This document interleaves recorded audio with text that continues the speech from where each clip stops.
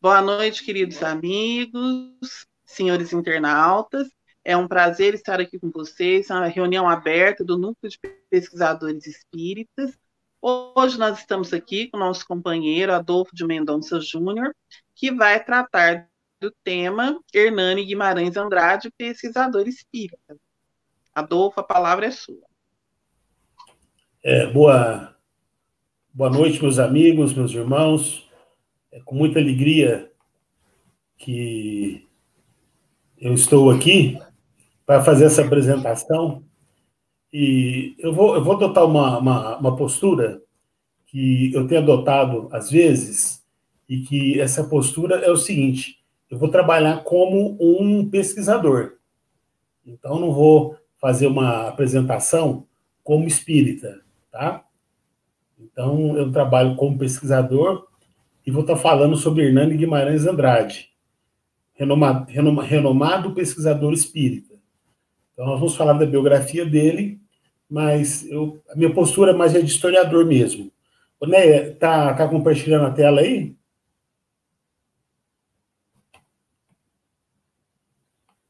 Eu perguntei para a Neia, acho que ela não me ouviu. Sim, a tela está compartilhada, sim.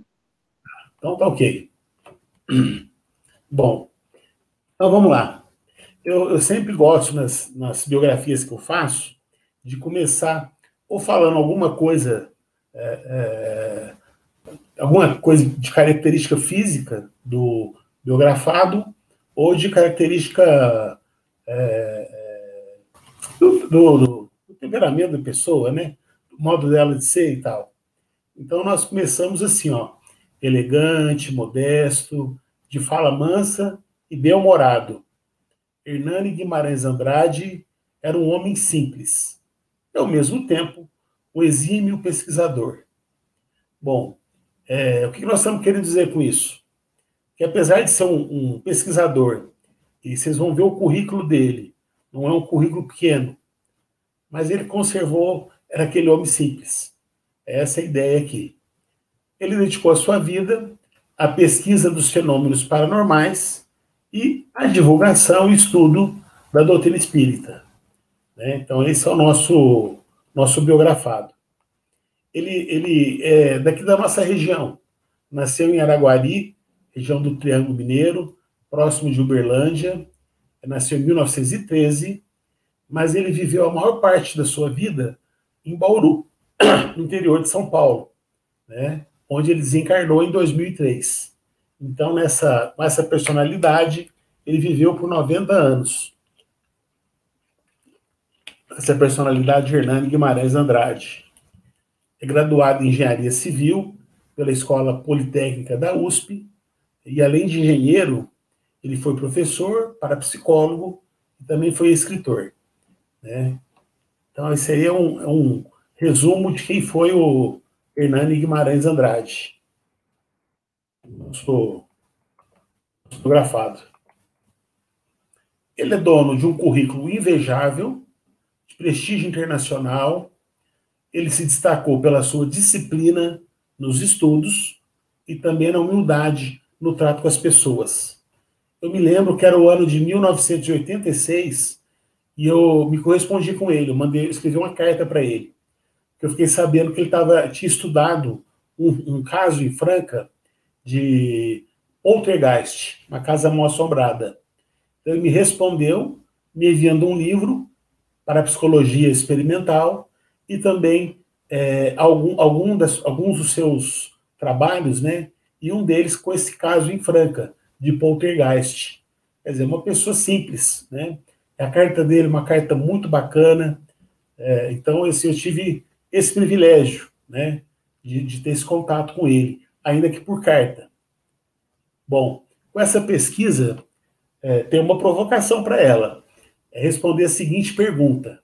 Hernani Guimarães Andrade, ele é o maior pesquisador espírita contemporâneo? Então, essa é a provocação. Essa é a pergunta que nós vamos tentar responder ao, ao, ao longo desse estudo. Bom, qual é o objetivo principal, o objetivo geral? É promover um debate sobre a originalidade e a relevância da obra do Hernani Guimarães Andrade, considerando que ele é reconhecido pela academia, principalmente é, é, no âmbito internacional, e, de certa forma, ele é esquecido no meio espírita. Né? Ele não é uma unanimidade. Então, é, então, nós vamos promover um debate sobre a importância do seu trabalho, né, da sua obra. E como objetivos específicos, nós vamos tratar um pouco da sua trajetória como um renomado pesquisador brasileiro, reconhecido internacionalmente. Né? Vamos também apresentar um pouco das suas pesquisas sobre reencarnação, com destaque para o caso Rogério e Manuel Jerônimo. É, essa história consta do livro Reencarnação no Brasil. Também vamos analisar a teoria que ele desenvolveu, bem como as suas hipóteses e a sua validação, né? e evidenciar a relação conflituosa que ele teve com o movimento espírita. E, por último, nós vamos aludir um pouco ao famoso embate que ele teve com o padre Quevedo, né, na, na, na, imprensa, sobre poltergeist. O, esse trabalho, é, vamos apresentar alguns traços biográficos né, desse pesquisador espírita, o Hernani Guimarães Andrade, na perspectiva da história do tempo presente. Né? E, claro, tendo como exame a pesquisa bibliográfica, e análise documental e abordagem qualitativa. Bom, a nossa investigação, ela buscou então compreender por que, que ele não era uma unanimidade na, na, na sua época, né? E ao mesmo tempo comparar com os dias atuais se houve alguma mudança ou mudanças, né? Permanências, é, se ele ainda é, é reconhecido se ele é reconhecido pelo movimento espírita hoje, ou se não é, e se existem novos trabalhos acadêmicos sobre ele. Né? Então, e para isso, nós chegamos aos resultados que vou apresentar a partir de agora. Então, falando inicialmente da, da trajetória da sua vida, né, o Hernani Guimarães Andrade, ele tinha conhecimentos aprofundados é, de ciências biológicas, cosmologia, estatística, física, psicologia e diversas disciplinas filosóficas, como epistemologia, lógica e metodologia de pesquisa, por exemplo.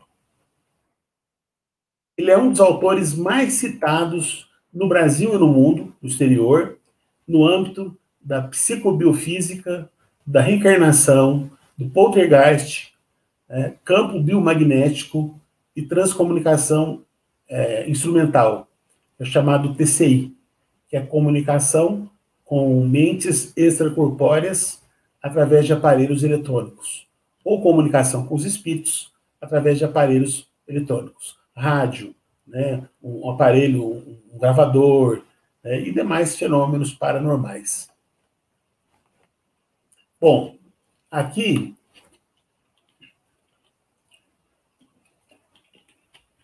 Aqui eu peguei uma matéria do. do o meu inglês não, não é dos melhores, mas o Journal of the Society for Physical Research. É, o Guillaume Playfair. Ele, ele é indiano, radicado na Inglaterra, viveu 14 anos no Brasil, trabalhava para várias revistas, uma delas é a Time, né? E, e fotógrafo, né? E ele se tornou membro do IBPP, conheceu o Hernando Guimarães Andrade, ele conta essa amizade entre eles, e é, nesse jornal ele, ele, ele fala da biografia do Hernando Guimarães Andrade na época do desencarne do Hernani. Então, o, o Playfair ele fala assim, ó, abre aspas, relatos mais detalhados das pesquisas e escritos de Hernani podem ser encontrados em meus livros The Flying Calm e The Indefinite Boundary. Então, são dois livros que ele, que ele lançou, e nesse, nesses livros ele conta de alguns casos né, da, do IBPP. Então, são, são livros, ele, ele é um, um ele é um, um parapsicólogo, né? se tornou parapsicólogo. Ele conta na, na, nessa reportagem se não fosse a amizade com Hernani Guimarães de Andrade, essa amizade fez com que a vida dele tivesse um outro sentido. Né? E daí o interesse dele por essa área. Né? Então, é muito interessante é, essa matéria. Ah, e, e, ele fala mais, em três monografias do IBPP que foram traduzidas para o inglês.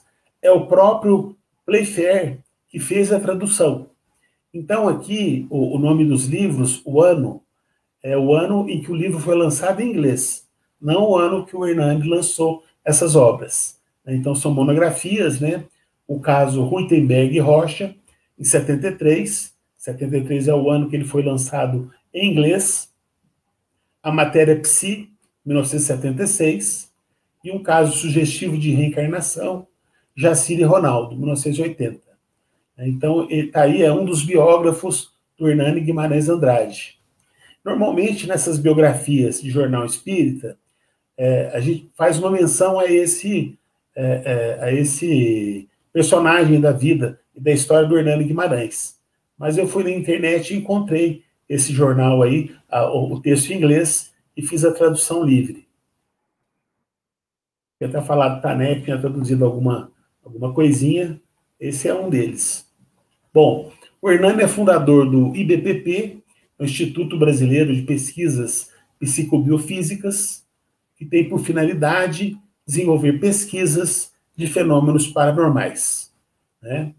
Aí o, o Guimarães, aqui é uma dissertação de mestrado, o Fernando Augusto Guimarães, ele fala assim na, na dissertação dele, que, abre aspas, dentre seus feitos, foi o primeiro a construir uma câmara Killian, visando elaborar estudos sobre a aura humana. Além disso, foi responsável por vários estudos sobre poltergeist no Brasil e incentivou estudos sobre transcomunicação instrumental. Tem até um livro sobre transcomunicação. E tem experiências dele também nesse campo da transcomunicação. Muito interessante. É, aqui uma outra tradução de uma enciclopédia, enciclopédia, é, é, é Encyclopedia of Reincarnation and Karma, da Norman McClellan. Mac, McClellan. Bom, não sei se a pronúncia é essa. Então ela fala assim, abre aspas, lá na enciclopédia. Andrade, Hernani Guimarães. Este parapsicólogo brasileiro fez vários estudos de crianças brasileiras que lembravam espontaneamente de vidas passadas. É autor de pelo menos três livros sobre o assunto, entre os quais a Case Suggestion of Reincarnation, Jacira e Ronaldo, 1980. Aqui eu mantive o nome do livro em inglês, porque 1980 é o ano que ele foi lançado em inglês, esse livro, não o ano que o Hernani lançou, tá? É só um, um, um registro. Bom, uma outra coisa muito bacana, que através de intercâmbio entre o IBPP e a USP, Universidade de São Paulo, ele ajudou a formar a primeira turma de pós-graduação da USP, né, é, de curso de lato senso, sobre é, pesquisas de psicobiofísicas, né, e foi também professor visitante da Universidade John Kennedy, na Argentina.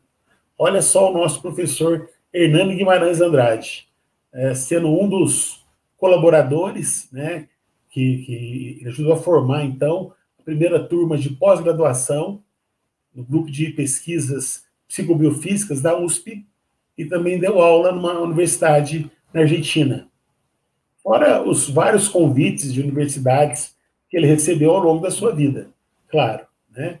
E o contato que ele tinha também com vários é, é, pesquisadores, né, de várias universidades, inclusive de Virgínia, lá nos Estados Unidos. Bom, Aqui tem as principais obras dele, eu não vou ficar falando o nome de todas elas, mas a, uma das principais, se não for. É, é difícil a gente falar se é principal, mas a teoria corpuscular do espírito. Nós vamos falar um pouco sobre essa, essa obra daqui a pouco. Certamente ela é muito importante. Uma outra obra muito importante é Parapsicologia Experimental. Essa também é uma obra muito importante. Né? Espírito, Perispírito e Alma, e Psiquântico, também são obras muito importantes.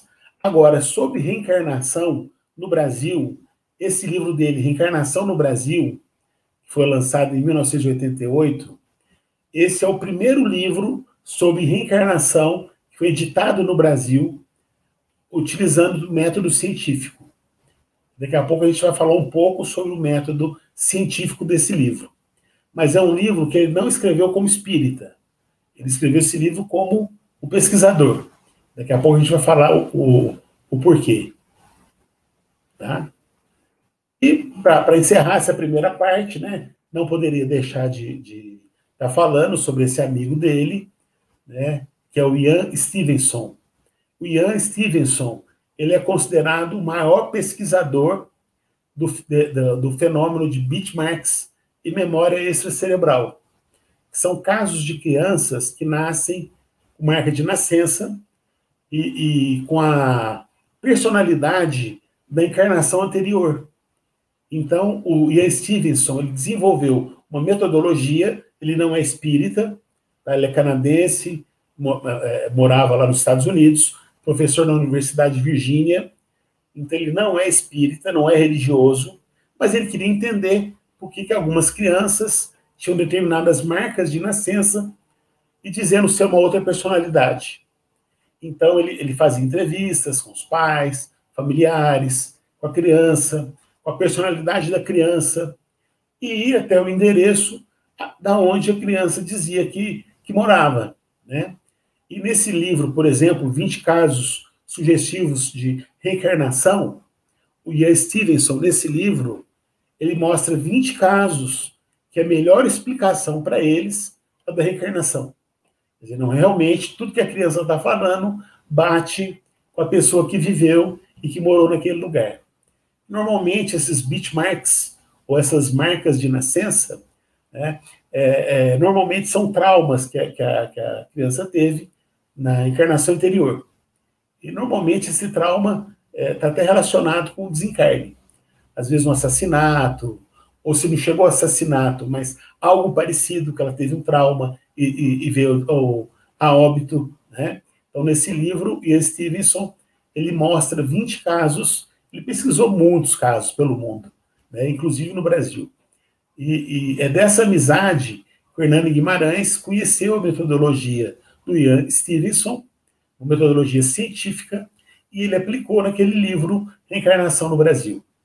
Então, aqui o, Jesus, o Jefferson Jesus, é, ele, ele, ele diz o seguinte, abre aspas, no Brasil, Andrade segue a mesma linha de investigação de Stevenson, inclusive os dois eram amigos, e o primeiro foi responsável pela visita do segundo no país. Isso nos anos 80. Então, veja aqui uma, uma, um documento, né, que eu poderia pegar um jornal espírita falando a mesma coisa, mas eu preferi um, um, um documento que trazendo essa informação aí a respeito dessa amizade. Bom, então vamos falar um pouco sobre o livro do, do Hernando Guimarães Andrade, né? Vamos falar de um caso do livro dele, é o caso Rogério Manuel Jerônimo, né, do livro Reencarnação no Brasil. Era um livro onde o Hernani Guimarães adotou uma metodologia científica. O que é mais importante, vocês viram lá que na, na enciclopédia, né, e não é brasileira aquela enciclopédia, e não tem só uma enciclopédia onde ele aparece como parapsicólogo, quer dizer, não fala como espírita. Né? E também sobre esse livro, Reencarnação no Brasil, esse livro é estudado em muitos países, por pessoas interessadas, né, pesquisadores, a respeito de casos de bitmarks e memória extracerebral. Pesquisadores, pessoas que não têm nenhum envolvimento com religião. São pessoas da academia. Né? Então, nós estamos falando de, de, de um intelectual. Nós estamos falando de um livro é, que foi escrito para a academia, tá? É, Reencarnação no Brasil. Bom, agora o que é mais curioso desse caso, né? É, bom, eu vou falar no próximo slide o que é mais curioso nesse slide. É, é, de, de, desse caso, aliás.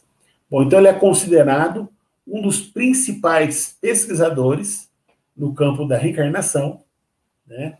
Um brasileiro, isso para nós é motivo de muita alegria.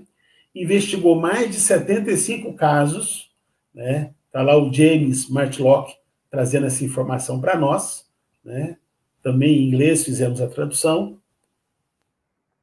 E o mais é, é interessante é, desse, desse caso, Rogério Manuel Jerônimo, é que esse caso aconteceu na cidade de Franca. E teve a participação do patrono do Núcleo de Pesquisadores Espíritas, Agnello Morato. O próprio doutor Agnello participou desse caso. Ao lado da dona Leonor, né, do lar Dona Leonor, que é a avó de uma companheira nossa também do núcleo, a Carmen, Maria Carmen Martiniano. Né? Então, isso para nós é motivo de muita alegria. É dois personagens importantes da história do Espiritismo em Franca, participando de um caso de uma pesquisa científica de Hernando Guimarães Andrade. Então, realmente, é, é muito interessante. Por isso que eu, eu quis contar, falar um pouco dessa história. Eu poderia falar de outras histórias, né? mas eu escolhi essa. Bom, personalidade atual. Nós estamos falando do quê? De um menino que se chama Rogério, Rogério Fernando de Carvalho, né? branco, nascido no dia 16 de julho de 1977. Né? Em 1982, com cinco anos de idade, ele começou a dizer o seguinte: ó, oh, meu nome é, é Manuel Jerônimo. Eu sou Mané, Mané Jerônimo. E a mãe ficou preocupada. E o pai também. Mas que história que é essa, meu filho? Seu nome é Manuel Jerônimo. Não, seu nome é Rogério. Você tem cinco anos. Não, não é isso não. Bom, então essa é a personalidade atual. Personalidade anterior é o Manuel Jerônimo Nunes, um curandeiro, né? um senhor preto, ele usava ervas, bezeduras, né? O que mais? Ele, ele viveu nessa, nessa personalidade de Manuel Jerônimo por 83 anos. Nasceu em 1862 e seu passamento foi em 1945, época da Segunda Guerra Mundial. Então viveu 83 anos de idade. O seu passamento foi porque ele levou uma picada de cobra na perna esquerda. Ele nasceu em Tirapuã mas veio para Franca e morava no bairro de Miramontes, aonde nasceu a cidade de Franca. É muita história, hein? Para um caso só é muita história. Quer dizer, foi morar no bairro de Miramontes.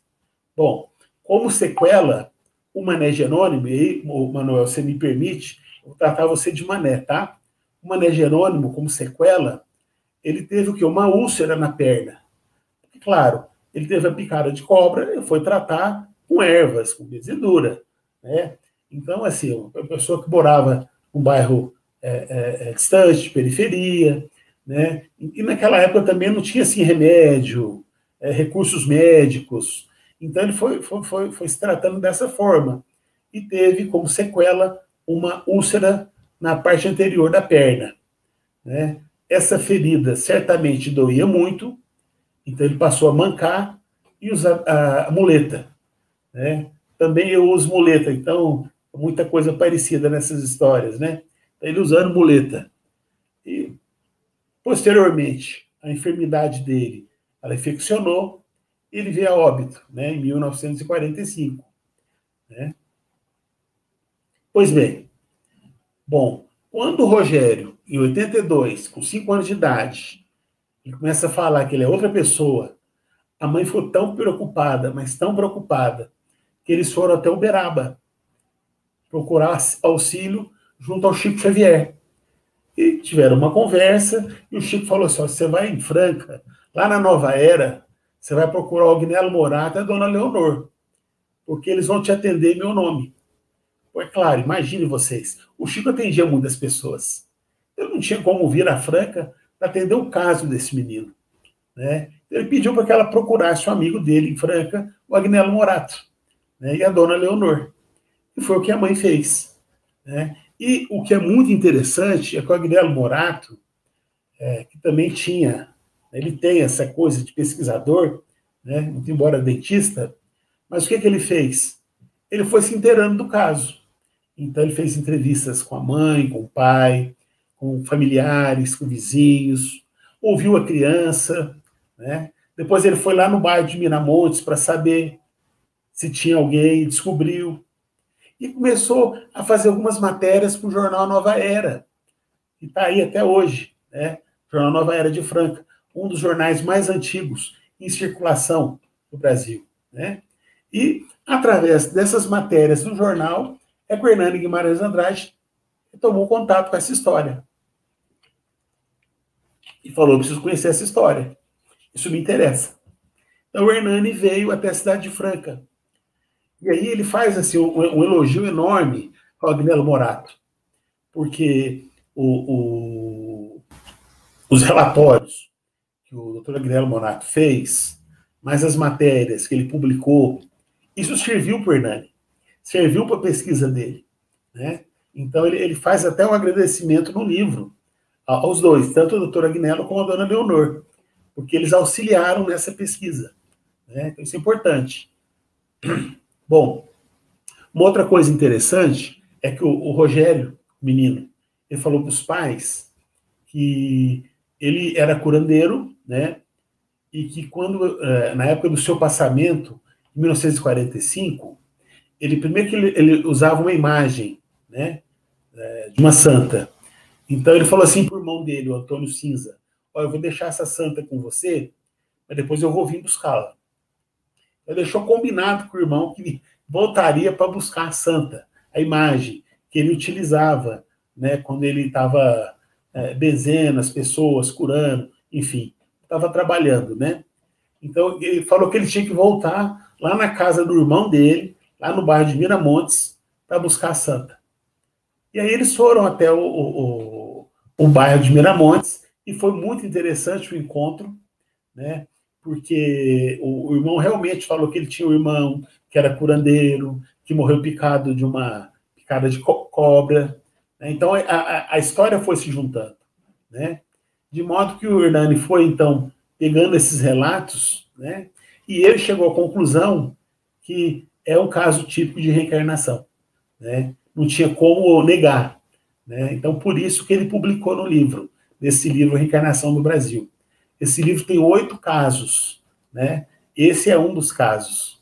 E que, segundo o Hernani Guimarães, utilizando toda a metodologia do Ian Stevenson, ele falou assim: a única coisa que explica isso é a reencarnação. Né? Então tá aí esse caso que eu achei que merecia estar tá reportando para vocês. Bom, agora nós vamos falar do livro dele, A Teoria Corpuscular do Espírito. Né? Então, nós vamos falar da teoria dele, né? E a relação conflituosa que o Hernando Guimarães teve com o movimento espírita. E vamos entender o porquê dessa relação, entre aspas, conflituosa.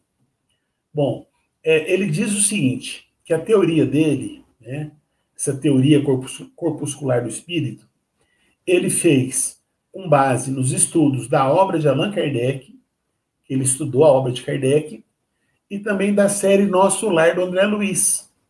Os livros né, da série Nosso Lar. O primeiro livro é o Nosso Lar, claro. Né? Então, ele estudou os livros do André Luiz, os livros de Kardec, né? e desenvolveu uma teoria chamada Teoria Corpus Corpuscular do Espírito.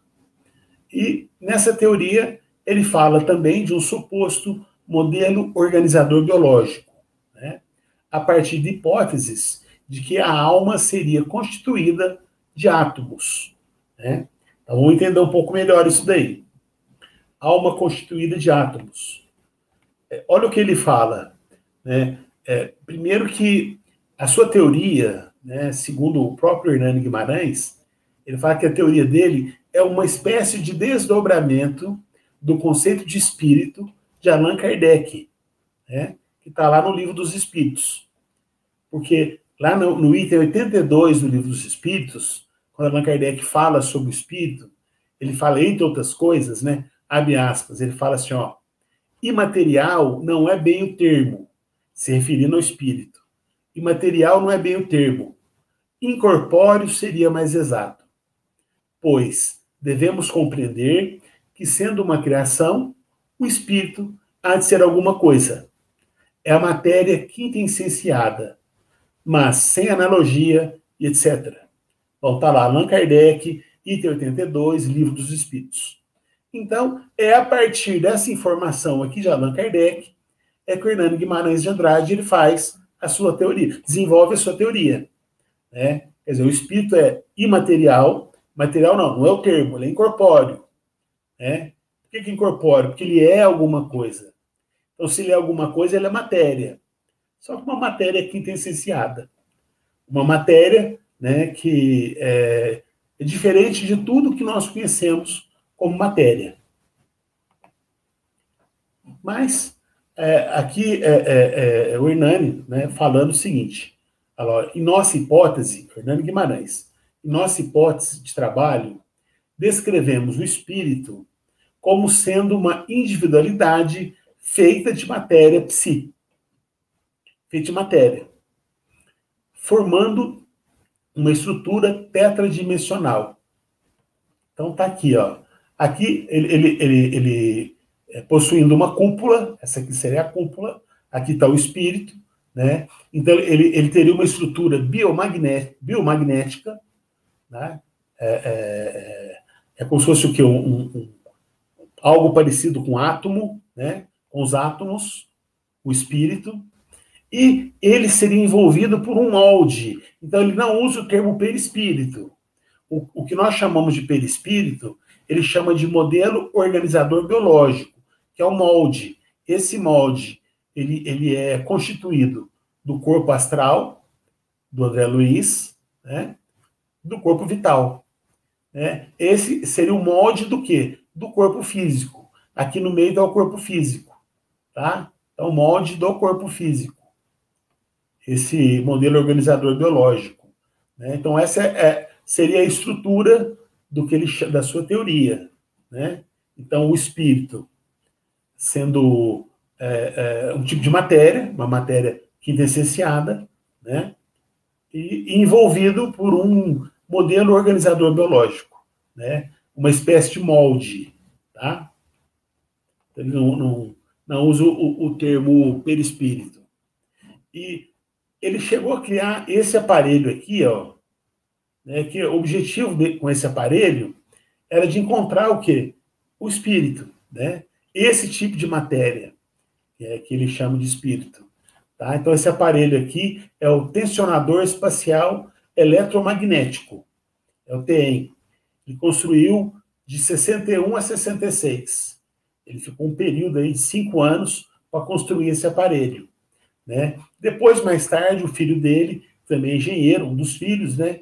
ele fez um outro aparelho, que é o tensionador espacial, magnético a, a, a ideia é a mesma, só que o aparelho do filho, aparelho um pouco mais sofisticado, mais novo, né? Fez um período posterior, claro. Né? E, bom, quando ele lança esse livro, Teoria Corpu, Corpus, Corpuscular do Espírito, dizendo que o espírito é um tipo de matéria, né? Qual é a resposta do movimento espírita? Então, o Herculano Pires, Herculano Pires ele é, é considerado o, metro que melhor mediu Kardec.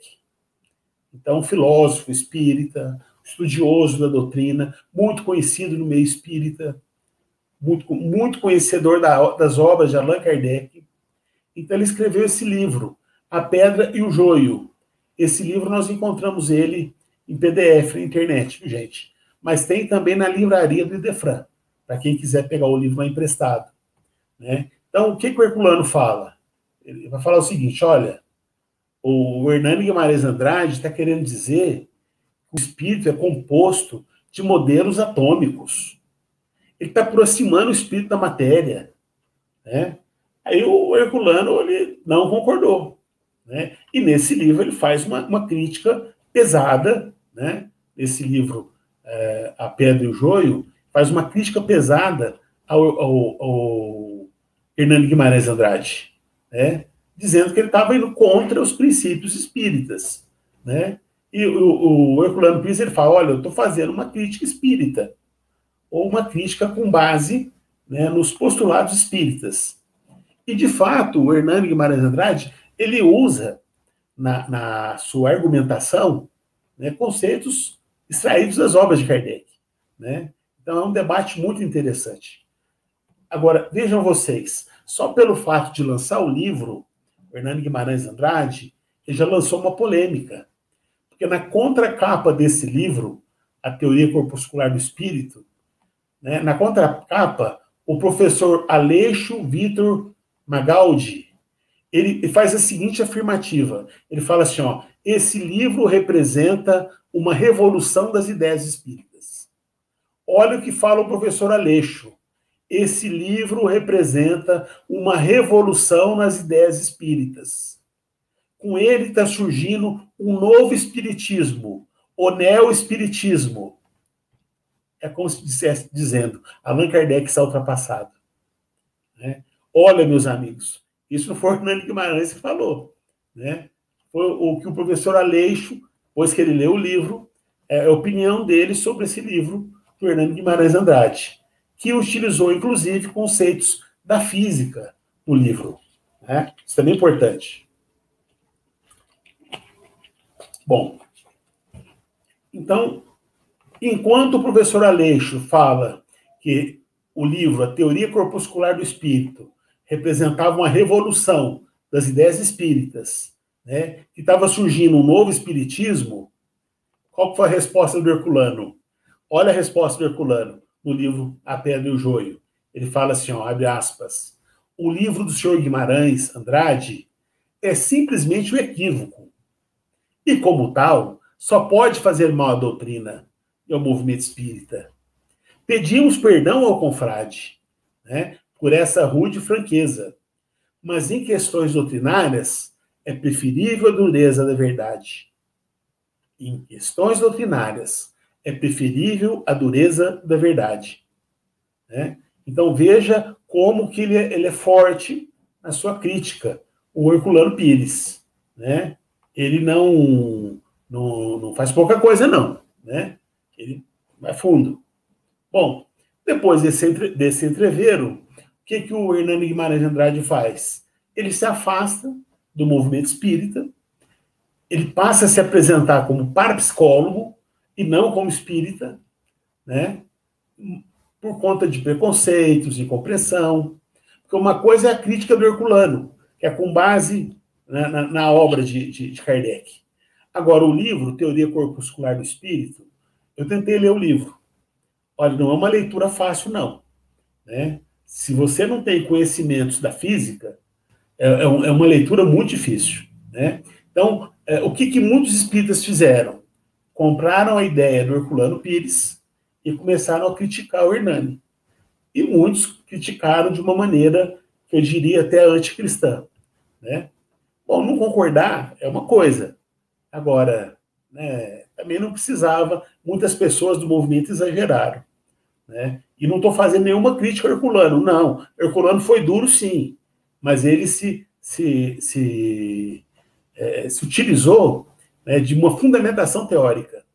Né? Então, eu acho que isso é uma coisa muito importante. Quando você faz uma crítica, mas não porque que você acha, porque você pensa assim, né? é o tal do senso comum de rede social. Não.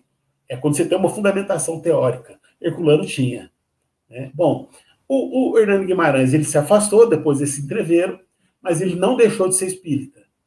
Tanto é verdade que ele foi articulista de 1994 a 97, no jornal Folha, Espírita. Aqui só uma, um exemplar, só para mostrar, né? O jornal Folha Espírita. E, e ele adotou um pseudônimo, né? Carl W. Kornstein, nem sei se é essa a pronúncia. Né? Então ele passa a escrever usando um pseudônimo. Porque não queria problema nenhum no movimento espírita. E se apresenta como parapsicólogo. Né? Ele também colaborou com outros periódicos, como, por exemplo, a Revista Internacional de Espiritismo, de Matão, a RI. Né? Bom, agora vamos falar dos dias de hoje. Nós vamos agora trazer o debate para os dias de hoje, que era uma das propostas, inclusive, desse artigo, né? Falar dos dias de hoje. Então, o professor Alexandre Fonseca, da Unicamp, é, esse livro aqui foi publicado em 2014. O Espiritismo, as Ciências e a Filosofia. O professor Alexandre Fonseca é um coautor desse livro. Então, tem, tem dois artigos dele nesse livro, mas tem um específico, que é o que nos interessa, que ele faz uma análise da teoria corpus, corpuscular do espírito. Né? Esse livro é resultado do, do nono e décimo ENLIP, é Encontro da Liga de Pesquisadores do Espiritismo. Então, nono ou décimo. Quer dizer, se o livro foi publicado em 2014, ou eu agora não me lembro, o artigo ele escreveu em 2013 ou 2012. Quer dizer, é recente. Né? E o professor Alexandre, professor lá do Unicamp, é físico. Nessa análise, ele não faz uma análise espírita. Né? Ele poderia, pegando as obras de Kardec, André Luiz, qualquer outro autor espírita, para fazer uma análise. Não. Ele faz aos olhos da física, já que ele é físico. Né? E ele analisa quatro tipos de falhas que ele identificou na teoria corpuscular do espírito. Então, quais são essas falhas?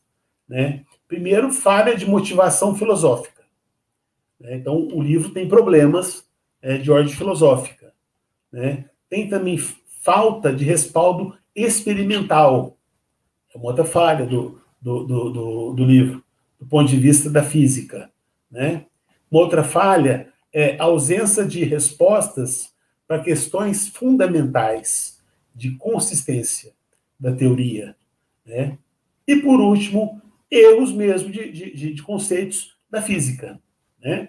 Então, essas, é, essas falhas, elas demonstram que essa teoria, teoria corpuscular do espírito, ela é incoerente com os princípios dessa ciência.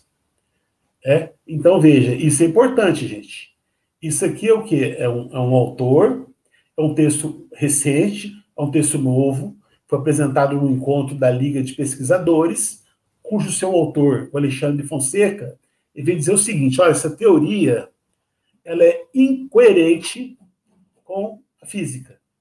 E o Hernani Guimarães de Andrade se apoia é, em conceitos da física nesse livro. Então, quando o professor Alexandre vem dizer que é incoerente, nós temos que lembrar Allan Kardec, quando ele fala que nós temos que seguir a ciência. Né? Porque na onde para a ciência é onde começa o espiritismo. É, não pode ser o contrário. Né? Então, é uma crítica importante, pesada também, eu diria, porque é incoerente com as noções da física, essa teoria. Isso nos dias de hoje. Quer dizer, vejam, gente, o Hernani Guimarães já tem mais de 20 anos, ou, quase 20 anos, né? é, tem uns 20 anos que ele desencarnou, e até hoje nós estamos discutindo o livro dele. Tá? Ele é atual, atualíssimo. Isso é muito interessante. Olha lá, ó. Fonseca e Torche. É o, é o, mesmo Alexandre, só que aqui num, num, artigo com outro autor, né? Aqui já no Jornal de Estudos Espíritas. Eles vão dizer o seguinte, que o perispírito como molde, aí tá falando lá do, do, do perispírito, né? no item 356 do Livro dos Espíritos, olha o questionamento deles, ó. Lá fala do quê? Do caso de um natimorto. Quer dizer, quando é gerada uma criança e não tem um espírito ligado a, a esse corpo, né? Quer dizer, então, como é que ficaria o modelo organizador biológico? Já que não tem um, se não tem um espírito ligado, também não tem um perispírito. Então, se não tem um espírito, não tem um perispírito, não pode ter um modelo organizador biológico. Né? Isso não é possível.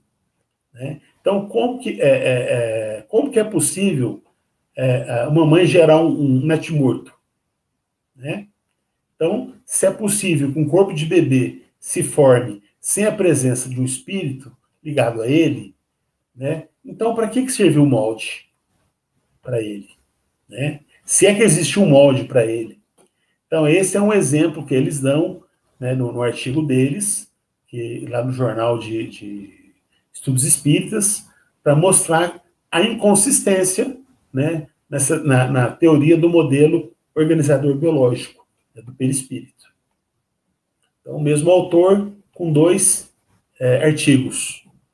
E, em contrapartida, aí eu faço o trabalho meu de historiador, porque eu não estou aqui para concordar nem com A nem com B, né? Em contrapartida, a, a, em 2012, a, a Marlene Nobre, que era até então presidente da AME, Associação Médica do Brasil, ela desencarnou faz pouco tempo, né? ela escreveu um artigo o jornal Folha Espírita, inclusive, onde ela fala assim, ó, as experiências no campo biomagnético valeram ao Dr. Andrade, em 1997, o primeiro prêmio científico da Associação Médico Espírita do Brasil. Olha, gente, 97, né? Ele ganha um prêmio, né, da Associação Médico Espírita do Brasil. Não está ganhando prêmio de qualquer um, não. E mais, aqui, ó, 2019, ano passado, 2019, Ney Prieto, Prieto Pérez, né, no mesmo jornal, falando assim, ó, a nossa homenagem a Hernani Guimarães Andrade. Né? Então ele conta que prestou um tributo a Hernani Guimarães Andrade no 12º Congresso das Associações Médicos Espíritas do Brasil, chamado de Medinesp. Né? Encontro que foi em Teresina, no Piauí, em junho de 2019. Quer dizer, veja, é 2019 e ele está ganhando prêmio da Associação Médico Espírita, Congresso de Médicos. Né? Então, se por um lado tem é, é, físicos dizendo que a obra dele é incoerente com a física, ainda hoje ele ganha prêmio de médicos do Brasil, né? E da Associação Médico Espírita, quer dizer, não é de qualquer um, ele está tá sendo premiado, né? É, o Hernando Guimarães Andrade. Então vejam vocês. E para completar, né? O livro Homem Integral, Joana de Ângeles Espírito, através da psicografia do Divaldo. Então, olha o que ela fala né, do perispírito. Pode-se dizer que ele é o esboço, o modelo, a forma em que se desenvolve o corpo físico. Depois ela vai falando mais. Né? Então, está aqui a Joana de Ângeles corroborando com Hernando Guimarães Andrade, dizendo o quê? Que o perispírito é modelo, é o modelo molde do corpo físico. Né? Então, veja, gente, é um, é um debate que não acabou. Né? Ele tem curso esse debate. Né? Ele tem curso. Tá? E por último, vamos falar um pouco do, do, do embate com o padre Quevedo. Também é muito interessante esse embate. Né? Bom, então, o, o padre Quevedo ele veio para o Brasil com uma missão.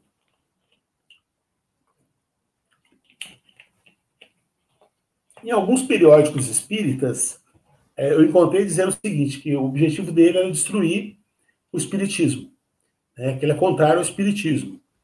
Bom, isso é o que eu encontrei alguns periódicos.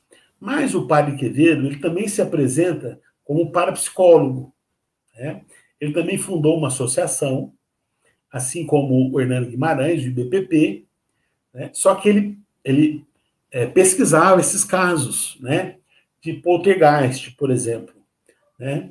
E enquanto o Hernani Guimarães dizia o, o que, que é o caso de poltergeist, vamos lá no dicionário. Poltergeist é o fenômeno sobrenatural caracterizado por manifestações físicas praticadas por supostos fantasmas. Bom, traduzindo para o espírita, né? É o que? Efeito físico. Está numa casa mal assombrada, como, por exemplo, na história do espiritismo, lá em Hardesville, de Irmãs Fox foram morar numa casa mal assombrada, né? Então aquele efeito, né? O fato da casa ser mal assombrada, aquilo é um poltergeist, tá? Então o que, que o Hernani Guimarães dizia nas pesquisas que ele fez sobre poltergeist? Inclusive teve um caso em Franca de casa mal assombrada que ele pesquisou. Né? Ele atribuiu o que a causa, a ação dos espíritos. Né? Então o, a casa mal assombrada é o efeito. Qual é a causa? A ação de um espírito. Né? A ação desse espírito promovendo o quê? Uma manifestação física. Assustando as pessoas. Né? Da expressão, praticadas por fantasmas. Só que para o padre Quevedo, isso era o quê? Poltergeist, uma patologia. Não tinha nada de espírito. Era uma patologia. Então, eles começam numa verdadeira guerra na imprensa né, em programas de televisão, né, o padre Quevedo criticando e o Hernani respondendo a ele, né, é, dizendo que não, não era assim. Né? Então, eles vão fazer esse, esse, esse debate, ele é tão rico, e aí a, a professora Fátima Regina Machado, de novo, meu lado de historiador, né? ela, ela, na dissertação de mestrado dela, ela dedicou um capítulo para cada um deles. E escreveu um artigo, aqui é um recorte do artigo dela, né, sobre poltergeist, que é o que chamou a minha atenção. Ela fala assim, ó, veja, gente, de novo, uma pessoa da academia falando, tá? Não é um jornal espírita, poderia pegar de um jornal espírita, mas eu, eu preferi alguém da academia. Acho que isso é, é, é melhor, tá? Então ela fala assim, ó, é inegável que a coleta de dados realizada pelo Andrade, pelo Hernando Guimarães Andrade, nas investigações de casos de poltergeist é rigorosa. Isso é importante, tá? O Hernando Guimarães, quando ele pesquisa, ele faz um trabalho sério. Né? Porém, suas interpretações e conclusões são tendenciosas. Fecha aspas. Olha, o Hernani faz um trabalho sério. Só que na hora da conclusão, a conclusão dele é tendenciosa. Por quê? Porque ele tem dificuldade de falar como pesquisador. Ele acaba falando como espírita. Ou ele acaba atribuindo aos espíritos. Né? Essa é a fala dela. Bom, aí veja o que ela fala do padre Quevedo. Veja só. A ocorrência de um poltergeist é, segundo Quevedo, sinal de patologia. Então, para o padre Quevedo, já, a resposta já é patologia. O Hernani não, ele não investiga. Né? Porque ele pode descobrir uma fraude. Né? Não, isso aqui é fraude. Agora, se não é fraude, não é nada. Então, para o Andrade, vai ser o quê? Os espíritos. Agora, para o Quevedo, é tudo patologia. Né? O que importa é esclarecer. O que importa para o padre Quevedo é esclarecer que aquilo é uma patologia. Né? Esclarecer a família afetada. Né? E fazer o fenômeno parar de ocorrer. Quer dizer, a casa tem que deixar de ser mal assombrada. Né? A lista de procedimentos do padre Quevedo, olha só, a lista de procedimentos de investigação inclui rezas e bênçãos. Ora, gente, isso não é científico. Né? Como é que um parapsicólogo, porque ele, ele, ele se apresenta como parapsicólogo, né? como é que ele pode falar que para acabar com um, um fenômeno de poltergeist, entre outras coisas, a pessoa tem que ficar fazendo rezas e bênçãos? Né? Bom, um religioso pode falar isso né? não para psicólogo, né? especialmente se a família não professar a religião católica. Né? Em outras palavras, o que ela está querendo dizer? Olha, se eu tiver que escolher entre os dois, eu vou ficar com, com, o Hernando Guimarães Andrade, que ele está fazendo um, um trabalho sério. Ainda que a interpretação dele seja tendenciosa, né? mas o trabalho dele é melhor do que o do, do Quevedo e os dois se apresentavam como parapsicólogos. Né? Bom, meus, meus amigos, minhas, minhas amigas, eu não sei se vocês perceberam, mas é, eu estou mostrando que existe um debate em curso. Né? Eu não estou trazendo uma coisa pronta. Né? Mas qual a conclusão que eu, que eu cheguei depois de ficar aí dois anos pesquisando sobre o Hernando Guimarães Andrade, sua obra, né? as pesquisas que ele desenvolvia. Então, com esse trabalho, eu, eu cheguei à conclusão que ele é, sim, o maior pesquisador espírita contemporâneo. Seja por suas pesquisas, por suas invenções, por suas teorias ou por suas ideias. Né? Seja pelo intercâmbio com os mais respeitados teóricos internacionais da sua época os mais respeitados teóricos. Né? Ainda que ele tenha trabalhado por mais de 40 anos para validar a sua pesquisa e não tenha conseguido, ele não encontrou o espírito, usando lá o instrumento que ele fez, nem o que o filho dele fez. Então, ele mesmo conta que ele ficou 40 anos, ele mesmo fala, nossa hipótese, ele mesmo fala isso. Né? Então, ainda que ele tenha, por mais de 40 anos, tentado, né, essa é a sua maior virtude. Isso é fazer ciência, através de tentativa e erro. Né? Então, ele não conseguiu provar a teoria dele. Ele sabe disso, ele mesmo fala isso. Ele não conseguiu provar, a teoria dele. É uma pena que muitas pessoas hoje em dia utilizam a teoria que ele não provou como se fosse uma coisa cristalizada. Também não estou dizendo que não, não, não, não, não pode ser. Né? Mas o tempo vai responder essa pergunta. Né? O tempo vai responder. Por hora, ele não provou a teoria dele. Né? E ela ainda não é uma unanimidade. Essa é a verdade. Mas isso faz dele o maior pesquisador espírita do mundo contemporâneo. Porque até nos dias de hoje, nós estamos discutindo a obra dele. Nós estamos discutindo a teoria dele. Olha a importância desse, desse, desse personagem para nós. Né? Olha, ainda que não tenha sido uma unanimidade para alguns, para alguns homens, né, ele foi um homem de ambições desmedidas. Foi sim. Para outros, ele foi um lord inglês, né? Mas os seus esforços, eles devem ser reconhecidos por todos nós, né? Os seus seguidores e também os seus críticos. Porque ele nos deixou um grande legado, uma grande obra que merece ser estudada em sinal de apreço, de respeito e de admiração.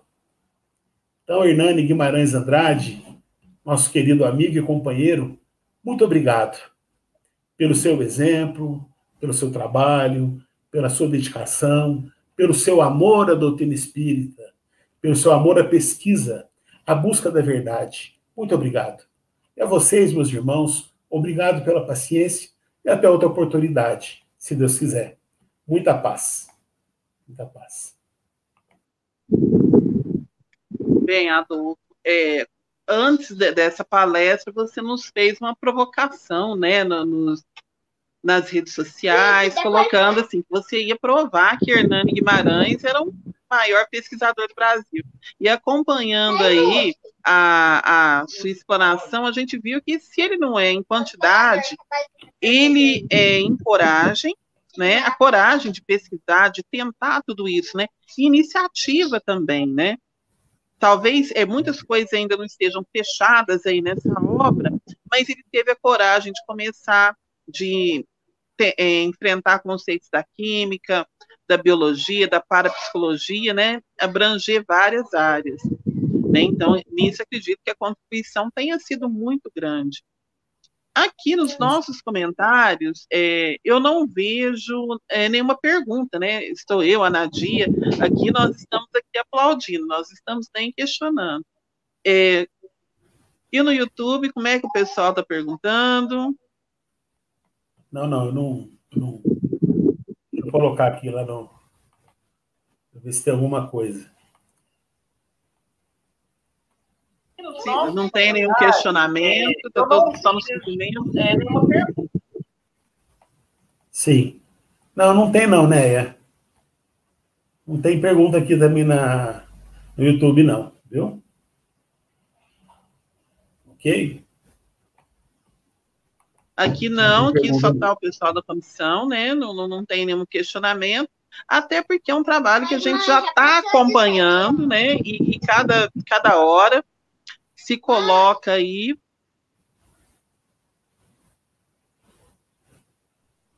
E cada hora é acrescentado um ponto, a gente vai construindo isso com você. Se não há os questionamentos, a gente agradece a sua disponibilidade. Estamos sempre estudando juntos, né? E encerramos aí a explanação da noite de hoje. Lembrando ao pessoal que acompanha que pode nos ver novamente no YouTube Pode perguntar no YouTube que a gente volta, responde novamente, né? Estamos sempre à disposição. Né? Uma é boa noite a todos, né? Que os nossos mentores, os nossos amigos espirituais nos acompanhem aí nessa noite. Muito obrigada.